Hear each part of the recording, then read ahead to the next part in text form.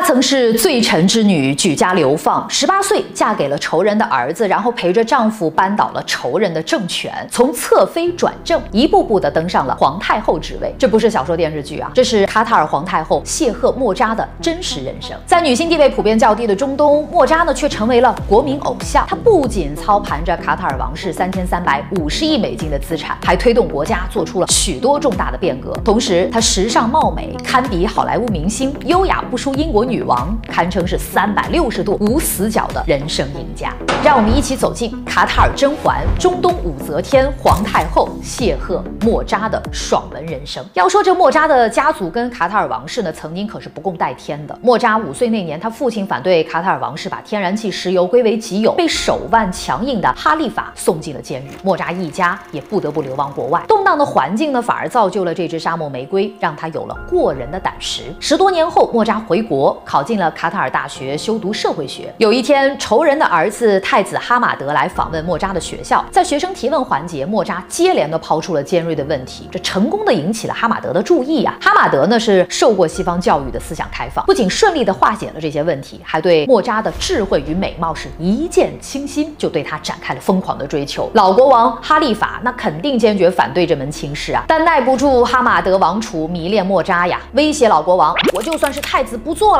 也要娶莫扎。就这样，十八岁的莫扎孤身一人嫁入王室，为了羞辱莫扎，老国王呢不让莫扎的亲人出席婚礼，还警告他最好能够认清自己的位置。卡塔尔呢实行一夫多妻制，当时哈马德呢已经有了一名正妻。大婚当天，老国王还要求哈马德的正妻呢代替莫扎的母亲护送他。这个妻子啊就趁机嘲讽他粗陋的沙粒培养不出闪光的珍珠，你应该到监狱里陪你可怜的父亲去。听听这剧情，一般人怕是要委屈哭的，但是才十八岁的莫扎却从容不迫地回应：荒原上的蛇鹫如何懂得欣赏珍珠？我会向你证明，王宫是最适合我待的地方。莫扎做到了，当然不是通过宫斗，而是通过搞事业。卡塔尔的珍珠采集行业呢很发达，但是呢大珍珠卖得好，成色不好的珍珠是没人要，都浪费了。莫扎呢就把这些边角料拿去加工成化妆品和生活用品，市场反馈很好。一九七九年，莫扎淘到了一颗天然黑珍珠，英国拍卖行的估价呢是七十万英宝。老国王哈利法呢喜欢收藏一些奇珍异宝，多次暗示莫扎送给自己。要是换成一般人啊，可能就想哎卖个人情，让自己在皇室好过一些，给他就是了。但是莫扎偏不，他揣着明白装糊涂啊！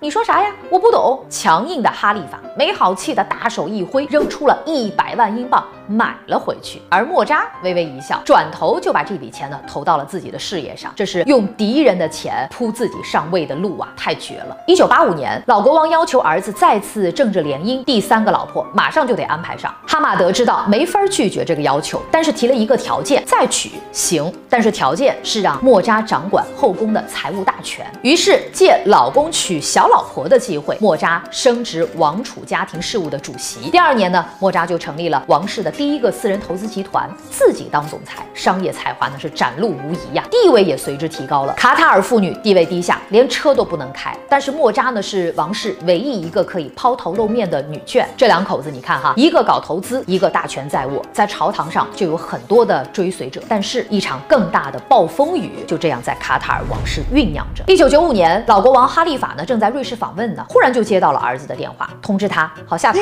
还说我要让您在有生之年看看到一个新的卡塔尔。哈马德上台之后，莫扎的父亲很快就得到了释放。在宫廷十八年，莫扎呢终于是看见了亲爹得救啊，而仇人却过上了自己曾经的生活。老国王哈利法的银行卡被冻结了，在外流浪了整整九年才回国。其实呢，哈马德和老爹的政见不同已经不是一天两天了，他渴望改革，才发动了这场不流血的宫廷政变。上台之后呢，哈马德就开始大刀阔斧的搞改革，这其中莫扎也出了不少力。莫扎曾经提出啊，石油和天然气是总有一天会采完的，我们现在就应该以石油换美元，以美元去换投资和增值。他就开始在全世界买买买。现在卡塔尔投资局呢是德意志银行、瑞信银行、伦敦证券交易所、瑞士佳能可的第一大股东，在全世界的资本版图大到没有边界，而且他还花几亿买艺术品。一开始的时候，哈马德都傻眼了，生怕他会乱花钱。但是呢，莫扎却自信地表示，要是买错了，我自己掏钱。他请来了贝聿铭这样的世界一流的建筑大师，在卡塔尔新建博物馆。这个沙漠上的小国家是摇身一变啊，成了一个艺术圣地，吸引了很多的游客前来打卡。二零一零年的时候，热爱时尚的莫扎呢，想买下奢侈品牌华伦天奴。这华伦天奴一开始呢是抗拒的，但是两年后，他们的创意总监到卡塔尔旅游，发现沿海有漂亮的人工岛，那居然是莫扎为难民创作就业的庇护所，于是就同意被收购。其实对难民的保护呢，只是莫扎众多成绩里的一小个。